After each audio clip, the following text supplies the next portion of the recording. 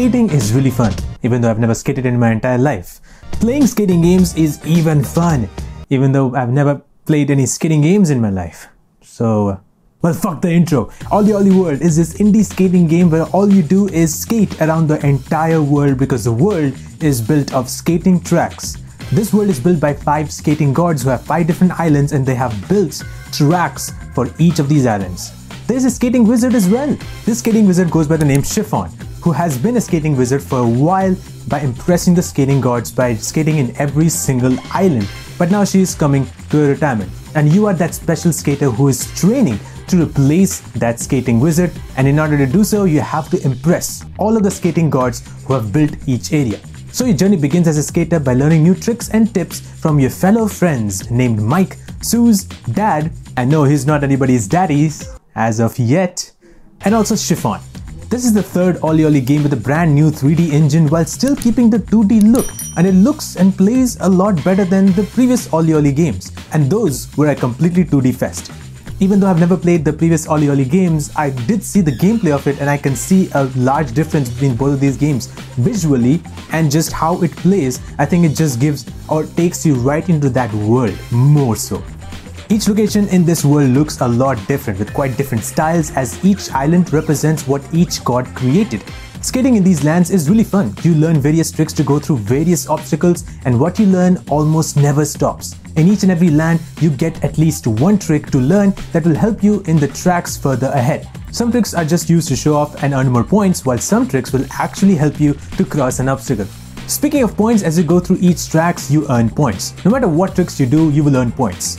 Whether it's you going through a wall or going through a rod or it's as simple as just jumping. Never thought that jumping will give you so many points. In each and every track, you will also see certain NPCs who have scored a certain point, and you can score more than them. Sometimes if you earn more than them, that will give you some collectibles. Sometimes it doesn't do anything. It's just you able to cross those NPCs is a small achievement in itself. Apart from that, you do have various other challenges that are given by your friends. Suze and Dad might give you one challenge, but Mike is a bitch because he wants to give you three variety of challenges which are hard, and those are the hard parts. But you don't need to complete any challenges as far as you cross that finish line.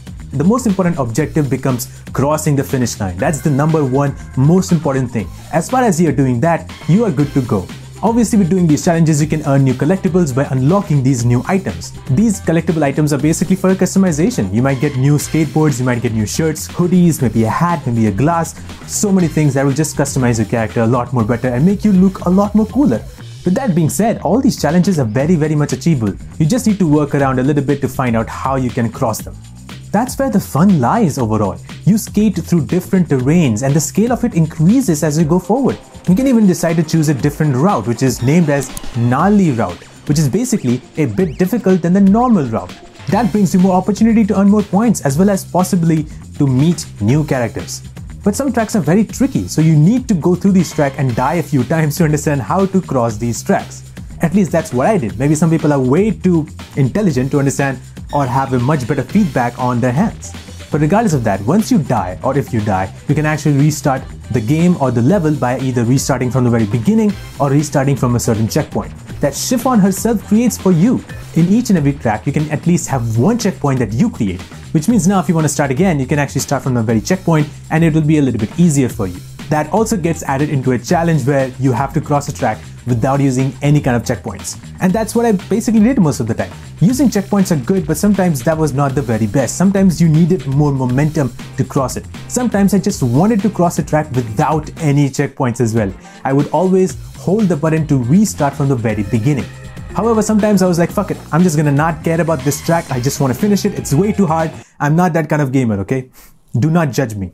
I swear to God, if you another cool thing is the side missions that you get. You can choose to do these side missions and they're completely different and challenging at times. The one that was challenging for me was outrunning a bear who was just lazy and just sitting down in the best seat of the world and it was going through a riverbank, while I was skating and trying to go through these insane obstacles and not able to outrun him.